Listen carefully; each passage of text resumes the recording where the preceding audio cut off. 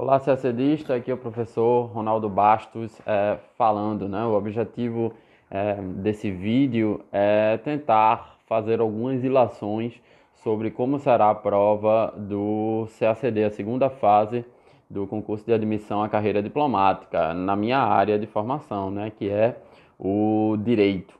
Né? É, é uma tentativa de fazer uma ilação a partir é, dos membros da banca, da então banca, ou até mais propriamente o que eu vou fazer nesse vídeo, da, do único membro que restou, né, que é a Valéria Mendes Costa Paranhos. Né, a partir da análise do currículo dela, do que aconteceu no TPS, né, que podem ter gerado é, modificações na própria, no próprio ethos da banca, né, na, na identidade da prova.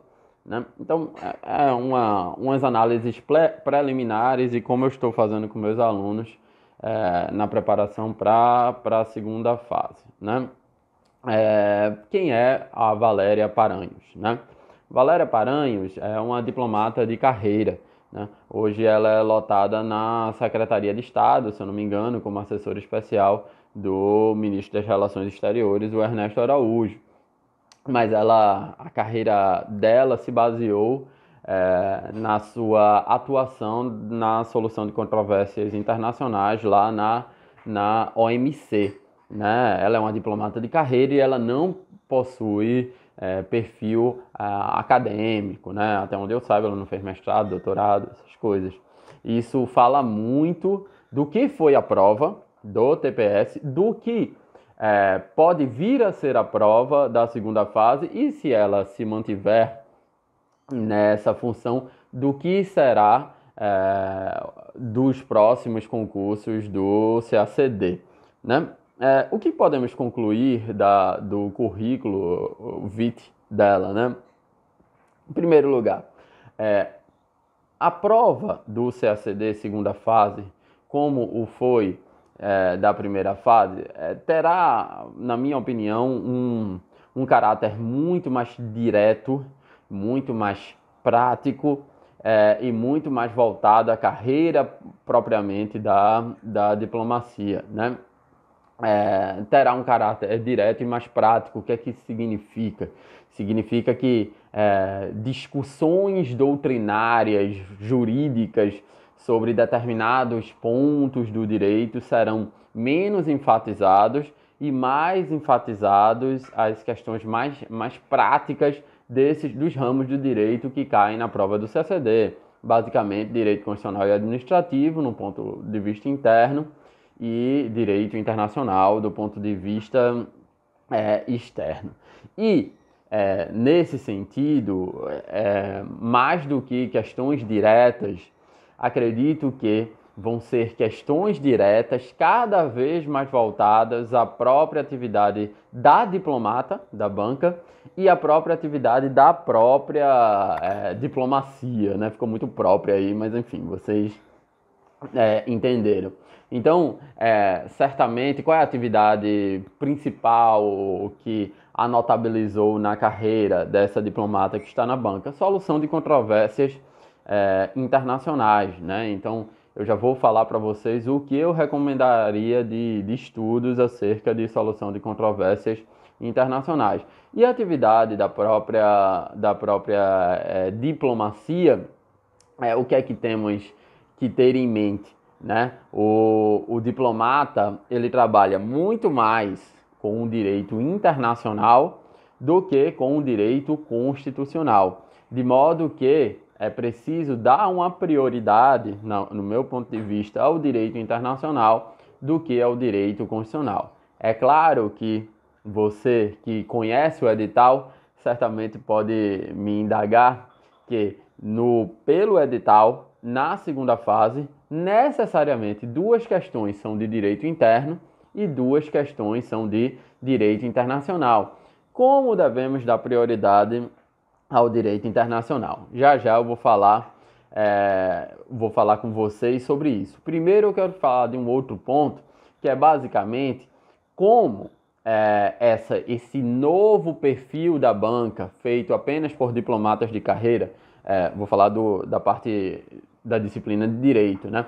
Como isso repercutiu no próprio TPS desse ano, né? Na própria primeira fase do CACD é, desse ano. Se você analisar a prova desse ano, apenas uma questão foi de direito interno. Aí foram duas de direito constitucional e duas de, de direito administrativo. E cinco questões foram de direito internacional. É, o que isso reflete? Vamos analisar as questões é, de, direito, de direito interno. Né?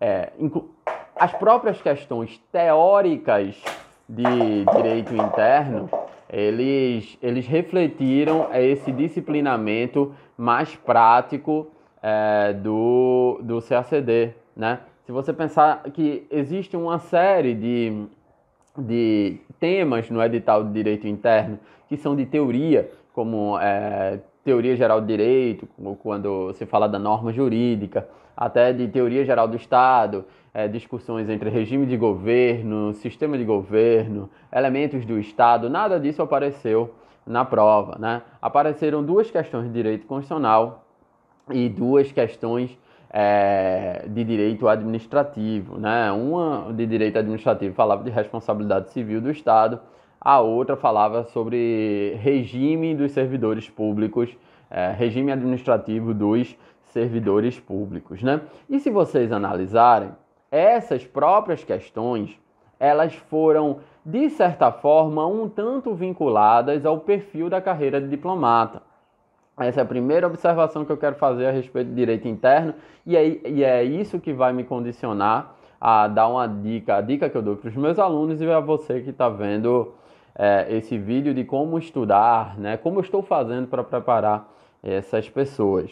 Né? A primeira, uma primeira questão de direito interno, de direito constitucional, cobrou é, a competência. Quem tem a competência? Qual é o tribunal que tem a competência para julgar os crimes comuns e de responsabilidades praticados por, por chefes de missão diplomática permanente, é, de caráter permanente? Veja, é, essa é uma questão que tem tudo a ver com a carreira diplomática, né? Que é, quem são os chefes de missão diplomática em caráter permanente vão ser os chefes de vocês quando vocês é, saírem lá do Rio Branco e passarem a servir no exterior.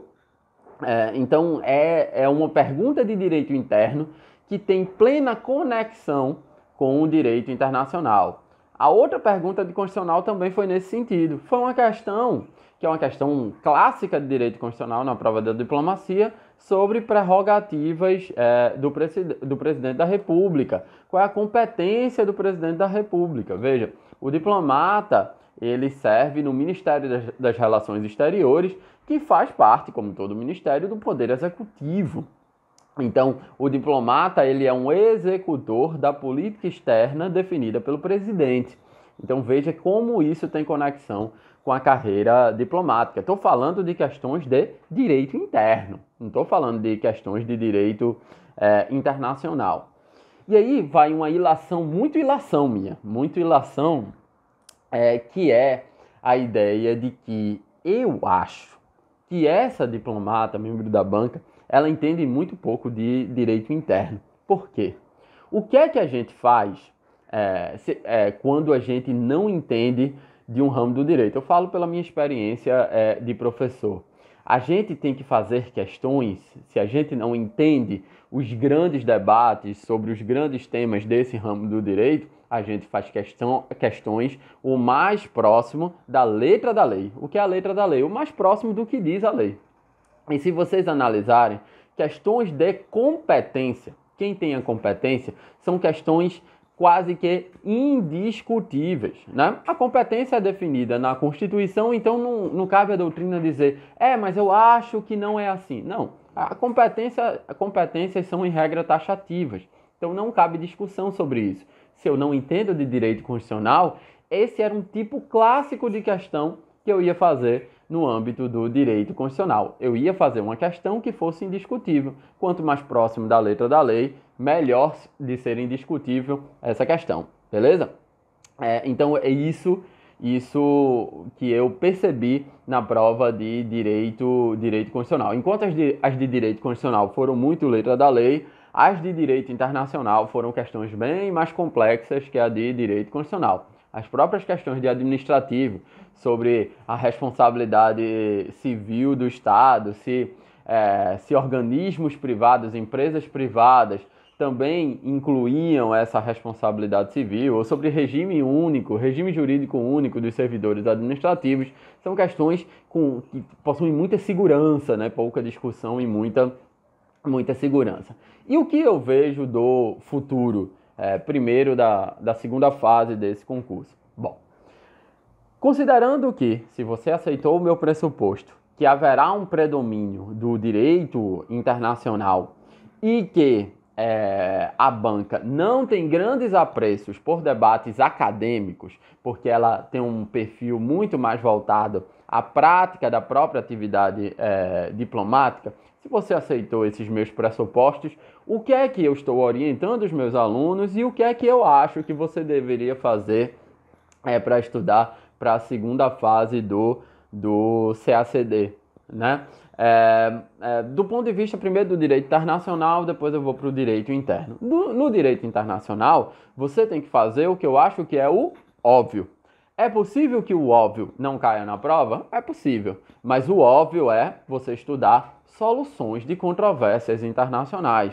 E aí começar a estudar, obviamente, pelo órgão que ela, que ela, pela organização internacional que ela trabalhou durante muitos anos. Organização Mundial de Comércio como é que se resolve é, controvérsias internacionais na, na Organização Mundial de Comércio. Então você, eu, eu estudaria, faria questões, como estou fazendo, de todo o procedimento da Organização Mundial do Comércio, inclusive dos diferentes quóruns, né? Como é que se decide quais são as questões que se decidem por consenso, quais são as questões que se decidem por três quartos dos votos, quais são as questões que se decidem por dois terços dos votos, quais são as questões que se decidem pelo chamado consenso negativo. Tudo isso eu focaria. Eu teria que ir sabendo tudo de como é o procedimento na Organização Mundial de Comércio. Depois, eu, eu, eu partiria para, para o direito internacional do mar, qual é o procedimento do direito internacional do mar. Lembrem-se que é, estamos tendo problemas no, no Mar do Sul da China, estamos tendo problemas no Estreito de Hormuz. Então, como é que se resolve essas, essas questões voltadas ao direito internacional do mar, os procedimentos lá, acredito, parte 15 lá da Convenção de Montego Bay. É, depois eu partiria para como é que se resolve problemas no âmbito do Mercosul, né? Como é que se resolve as controvérsias no âmbito do Mercosul. E eu não deixaria de lado é, uma, o procedimento na, na Corte Internacional de Justiça. Não deixaria de lado. Recentemente, a Corte Internacional de Justiça decidiu que a Bolívia não teria um acesso, o direito ao acesso ao mar que lhe foi negado pelo, pelo Chile depois da Guerra do Pacífico, se eu não me engano.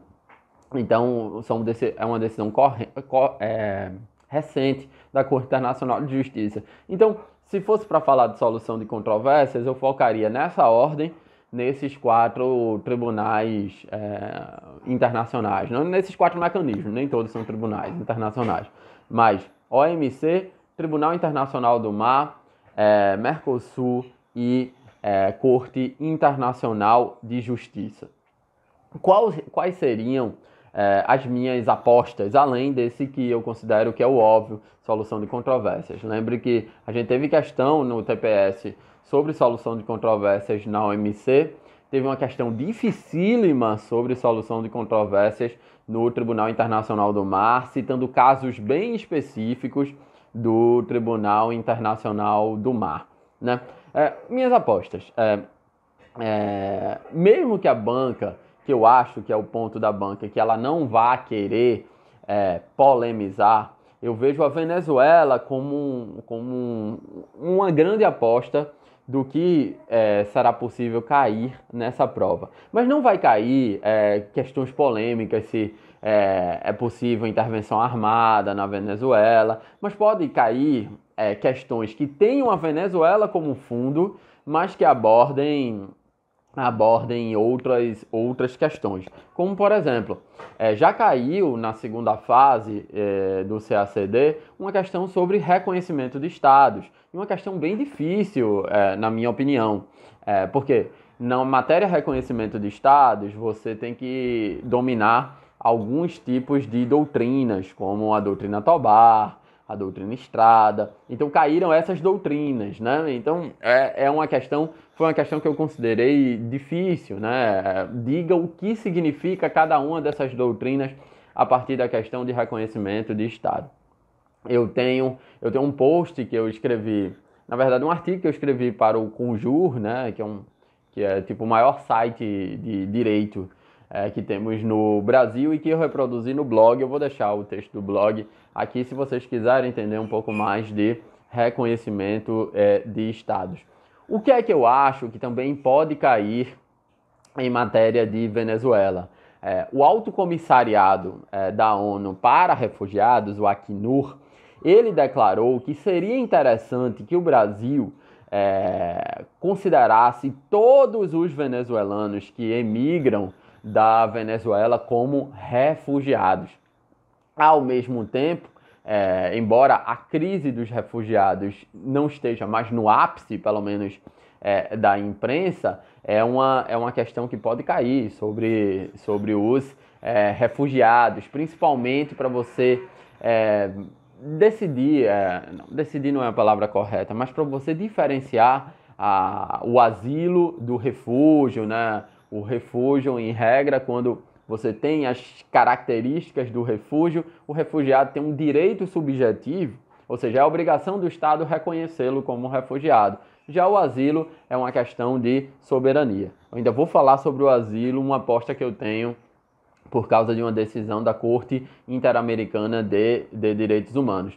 Uma última questão que pode ter a Venezuela como, como, pano, é, como pano de fundo é, é a questão que está rolando entre Venezuela e Colômbia. É, a, a, Venezuela, é, a Colômbia acusa a Venezuela, por exemplo, de criar, de fomentar, ajudar financeiramente grupos paramilitares que desestabilizariam o governo da Colômbia. Já tem casos na Corte Interamericana de Direitos Humanos que considera que isso é interferência nos assuntos internos de cada país. Se você pensar é, no caso relativo a atividades militares e paramilitares é, é, da Guatemala, é uma decisão de 1984, se eu não me engano, da, da Corte Internacional de Justiça, que condenou os Estados Unidos por financiarem grupos armados é, contra Guatemala não, Nicarágua, contra o governo da Nicarágua, inclusive os americanos eles eles é, criaram um manual de guerra de guerrilhas e eles foram condenados no que atina a questão da Nicarágua. Né? Então poderia haver uma questão similar entre Venezuela, essa crise de Venezuela e Colômbia como pano de fundo, nada diretamente, é, mas que vocês tivessem que ter conhecimento, inclusive desse caso, e, e descrever como é o procedimento na Corte Internacional de Justiça. Acho que é, você sabe que no blog tem uma sessão de aulas pagas, né? Cada uma a R$19,00, R$19,90, se eu não me engano, em que uma das próximas aulas que eu vou postar lá certamente será sobre procedimento na Corte Internacional de Justiça, que eu acredito muito numa questão desse tipo, né? Outro grupo de assuntos que eu acredito que podem cair, que vocês deveriam dar é, uma, uma olhada, é a questão da retirada compulsória de estrangeiros pelo país.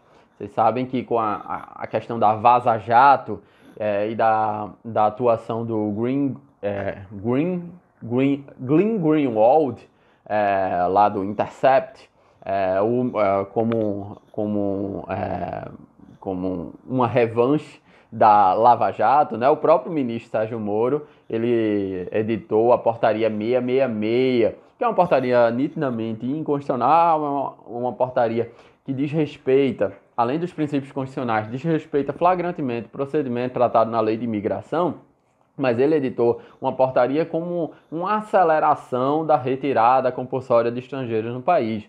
Então, uma, uma distinção entre o que é, é entre é, é expulsão, extradição, é, repatriamento, é, é, interessante, né?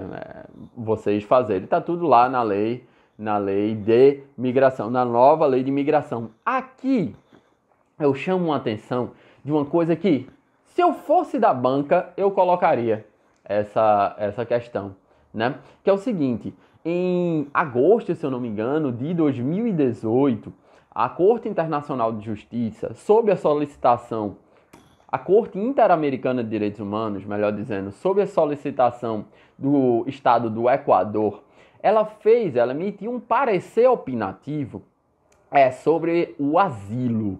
Aqui é, é interessantíssimo, porque no parecer opinativo, você sabe que tem uma diferenciação entre asilo diplomático, que é feito nas missões do, do país no exterior, e asilo territorial, quando é concedido no próprio país. E no caso de asilo diplomático, como autoriza as convenções latino-americanas, esse asilo não é obrigatório. Né? Mas a corte disse que no caso do asilo territorial, esse asilo seria obrigatório. Ora, isso é problemático do que pensa ter a teoria do direito internacional sobre asilo, que diz que o asilo faz parte de uma decisão soberana é, do país e, inclusive, é, é contrário ao que a própria lei de imigração e o decreto que regulamenta a lei de imigração dizem sobre o asilo. O Brasil é soberano para decidir se vai conceder asilo ou não. Então veja, imagina aqueles que eles colocam um texto motivador ele coloca um texto motivador dessa decisão, dizendo que a Corte Interamericana é, diz que o asilo territorial é obrigatório e para você falar, por exemplo, como qual é a posição do Brasil a respeito disso. E a posição do Brasil a respeito disso, certamente é a posição é, trazida pela lei de imigração e pelo decreto, que basicamente repete repete a lei. Então, enquanto a Corte Interamericana de Direitos Humanos, nesse parecer opinativo, disse que é, o asilo territorial é obrigatório, a lei de imigração diz que não é obrigatório. E essa é a posição do Brasil. Talvez uma atenção, é, uma lida nesse, nesse parecer é, opinativo é, seria, seria interessante. Já estou fazendo isso com, com o pessoal que, é, do blog, os alunos do blog. Né? E aí, uma, uma, um tema que é tradicionalíssimo, e para mim tem tudo para cair, seja direito interno ou direito internacional, é o tema dos tratados, né? Um tema que sempre se repete nos não necessariamente todo ano, mas se vocês pegarem fazer uma análise estatística de questão de segunda fase, esse é o tema que mais existe na, na prova de direito de segunda fase, que é a respeito dos tratados. Então vocês têm que saber é, como é que é constituído um tratado, vocês têm que saber aqueles detalhes. Já caiu questão para você diferenciar ratificação, falar de ratificação e, e é, reservas, proposição de reservas. Né? A própria proposição de reservas já caiu, caiu no TPS é, desse ano, enquanto vocês escutam aí meu, meu cachorro latir, né? É, faz parte. É, e aí, esse, esse, esse tema é sempre importante, tratados. Então, o que é que é importante de tratados que eu daria uma, uma, olhada, uma olhada mais detida, né? Incorporação de tratados. Como é que se faz a incorporação de tratados sobre isso? Lá no, lá no blog eu tenho um e-book sobre isso. Lá no blog eu tenho uma aula completa só sobre incorporação dos tratados. Então, como é que se dá a incorporação dos tratados? É, outra coisa, quais são os três status que possuem os tratados no Brasil: status de legislação ordinária, status supralegal e status é, de emenda constitucional, ou seja, equivalente à Constituição. Né? Também falo isso na minha aula sobre incorporação dos tratados. A questão importantíssima definida no recurso extraordinário sobre o depositário infiel. A Constituição, quando é promulgada lá em 1988, ela diz que existe é, duas hipóteses de prisão civil por dívida, que é do depositário infiel e do devedor de obrigação alimentícia.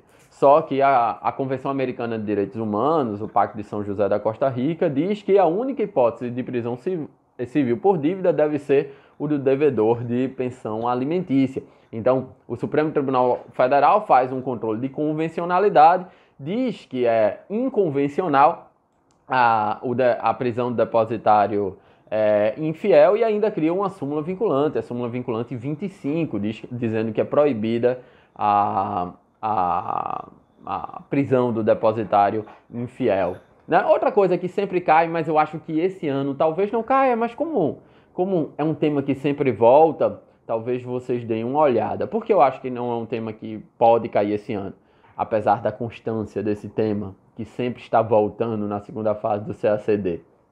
Porque é, é, uma, é um, uma questão sobre as características do direito internacional público, se, se há juridicidade no direito internacional público. Vocês sabem, né? O direito internacional público tem base no voluntarismo das partes. E tem toda uma tradição de teoria jurídica que diz que o, o grande, a, a grande definição do direito, de, do qual ele se diferenciaria de outras normas éticas, como a moral, etiqueta, religião, é que o direito tem a capacidade de impor as suas, é, os seus dispositivos. Né? E o direito internacional, como tem base no voluntarismo, na adesão voluntária das partes, ele não teria essa juridicidade. Tem um debate se há ou não essa juridicidade. Então já tiveram questões que abordaram isso. Ou então, é, relativo a isso, é, diferentemente do direito nacional, que é um direito de subordinação, as pessoas são obrigadas a obedecer os dispositivos emanados do Estado, o direito internacional, pelo voluntarismo, ele seria um direito de coordenação. As partes estariam em igualdade de igualdade de condições. Então, caiu já várias questões sobre isso. Não é um tema que sempre volta, mas como é uma questão bastante teórica e não necessariamente vinculada à prática da atividade diplomática, eu seria a última coisa que eu estudaria, né, desses quatro temas que eu citei de direito internacional, a questão da solução de controvérsias, questão da Venezuela, retirada compulsória do estrangeiro, tratados e características do direito internacional público. E para finalizar, eu quero falar sobre o direito constitucional, o que eu, o que eu daria mais atenção, né? É, o que eu daria atenção no direito constitucional? Certamente, eu não daria tanta atenção no direito constitucional daquelas, daqueles pontos do direito constitucional ou direito administrativo que são excessivamente teóricos. Excessivamente teóricos, eu não daria atenção a isso, é, porque a banca já mostrou que esses pontos, onde há uma discussão muito juridicista, como por exemplo a ideia de ações constitucionais, né? Eu acho que não vai cair uma reclamação constitucional na, na prova da segunda fase do CACD. Já teve anos é, que, e eu considerei isso muito difícil, que caiu uma questão para você discorrer sobre mandado de segurança. Não acho que esse é o ponto, porque esse é um tema muito juridicista, um, um tema muito para carreiras jurídicas. E a diplomacia não é uma carreira jurídica, não exige você ser bacharel em direito. Então, esses temas muito juridicistas, eu acho, eu não daria pelo menos é, prioridade. E se eu tiver certo, eu não sei nem se a, a única membro da banca tem, teria condições intelectuais de corrigir um tema bastante juridicista. Então, o que é que eu daria atenção? Eu daria atenção aos temas de direito constitucional que seriam conectados com o direito internacional. E existem vários temas de direito constitucional conectados com o direito internacional. Por exemplo, tratados é o principal deles. Incorporação de tratados, status dos, dos tratados, mais é, órgãos judiciários que têm competência para falar dos tratados. É, o STF tem competência é, para falar sobre controle de constitucionalidade. O STJ tem competência para julgar recursos oriundos de tribunais inferiores que falem de tratados. Juízes federais é, têm, têm competências também em relação a crimes que são previstos em tratados e se iniciam no exterior e vêm ser finalizados no Brasil. É, incidente de deslocamento de competência, que é quando há grave violações de direitos humanos. Procurador-Geral da República pode acionar o STJ para o STJ deslocar é, um crime que está sendo investigado na Justiça ou na Polícia Estadual para a Justiça ou Polícia Federal. É, então, esses temas eu acho que são muito importantes. Questão de competência de, de, dos tribunais em matérias de conflitos entre estados, estrangeiros e organizações internacionais de um lado e os entes federativos de outro, ou entre particulares internacionais e entes federativos, enfim. É, esses temas conectados com o direito internacional. Outro tema conectado com o direito internacional, nacionalidade. É, pode até ter uma remissão a, ao que a imprensa chamou de primeira brasileira nata a ser, é, a ser extraditada. Ela já não era nata, ela matou um americano, já tinha perdido a nacionalidade brasileira, enfim. É, tem um, um texto lá no blog, se vocês forem no índice de busca do blog, tem um texto sobre como foi essa decisão do Supremo. É, retirada compulsória de estrangeiro do país, expulsão, extradição, é, repatriamento, essas coisas, né?